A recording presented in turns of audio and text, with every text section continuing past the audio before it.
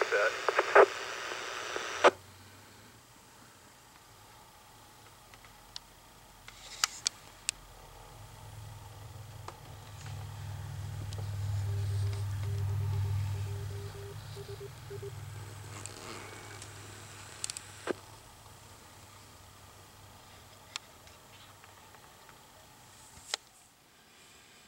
Hi everybody, 216 Papa Bravo here. A little uh, more talk about the Yaesu FTM 400DR.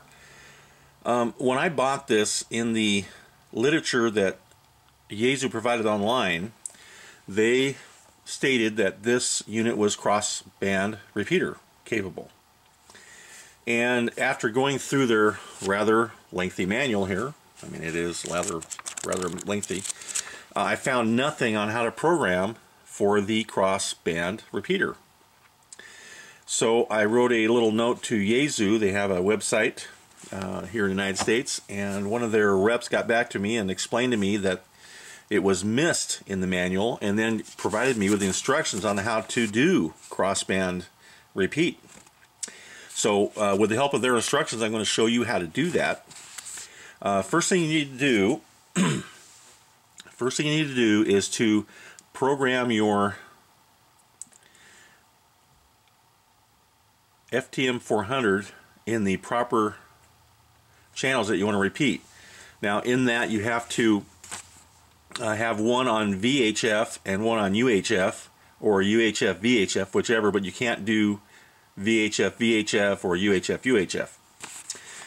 So uh, what I've done is I set up two bands here. The top one is uh, VHF it's a 146650 and then on the lower band I have it programmed for 446 double triple zero. Now in doing this I've made this as simple as possible by doing a simplex uh, so I don't need to worry about the offset, repeater offset or anything like that so that I can just communicate directly with this and then get out. so if you are going to go to a repeater you'd want to program in your station that you're going to be uh, repeating to uh, and then have the offset or proper offset and then the uh, CTSS tone or the PL tone uh, programmed into this. You also have to have a, a, a uh, APRS mode in off. Oops. Get back to the right screen. You need to press and hold this for a couple seconds. And in the, um, I believe it's in the config.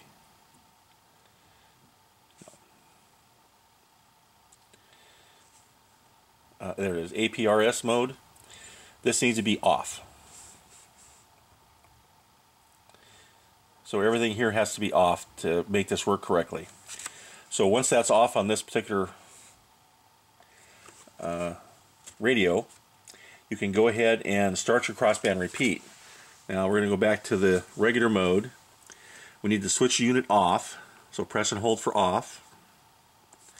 And then what we do is we're going to press these three buttons when we turn it on. So the display function and GM buttons, we're pressing all three of those and then turn the unit back on. And now you can see, get a close-up for you, the mode there, it says crossband repeater.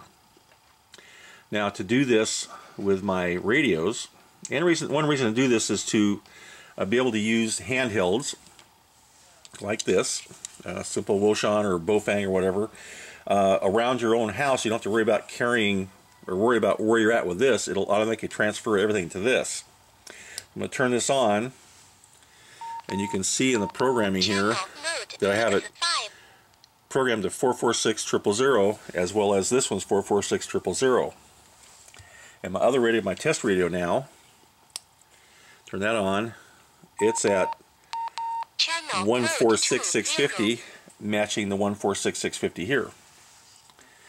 So now uh, I could be anywhere on my property or around my house or within you know a mile or so using my handheld and transmit from this through this on my larger antenna to get out to the world and then it will also once somebody repeats back I can get the information back on this rather than being right here So let me demonstrate. we'll push this button. You're going to see this one light up. Test. One, two, three, test. Okay, so we're transmitting here, receiving over here. Okay. And then we're going to come back with our 146 radio. Test one, two, three, four. Test one, two, three. And you can see that it works both ways. So now I can have any one of these radios programmed for my my crossband radio st stationed at 446 and have it transmit out or to any station on the 2 meter side or the 146 side that I want to have.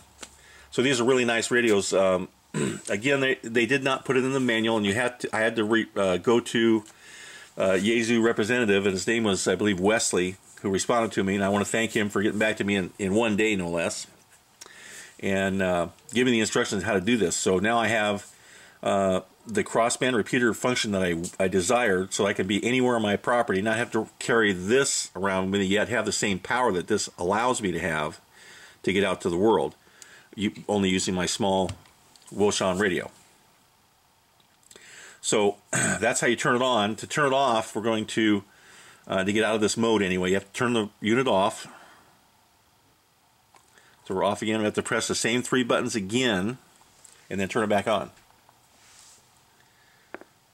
And you'll see that we're no longer in that mode. There's no mode, no mode in there. So uh, it's a simple process. Uh, you just have to have everything set up correctly. Again, if you're going to a repeater or some other mode, you have to be able to program your repeater correctly with your offset or however you want to work it. Or if you're going from VHF to UHF, you have to you know reverse the process, of course, but then you you have to have that offset. So there it is, just a simple little uh, update on the uh, Yaesu FTM 400. It's been a great radio. Really enjoyed listening on, talking on it. Uh, you know, haven't made a whole lot of contacts yet, but uh, just still listening and learning on on how to get out. So, uh, just a simple setting that if anybody has purchased one of these and wants information about it, that's how you get it done. So, thanks for watching. Uh, please subscribe, and if you have any comments, please, please, please leave them below. And uh, we'll look forward to seeing everybody later. I'll have more videos coming out soon, so uh, I'd like to see you watching them all. So have a great day and be safe out there. This is 216 Papa Bravo, signing out.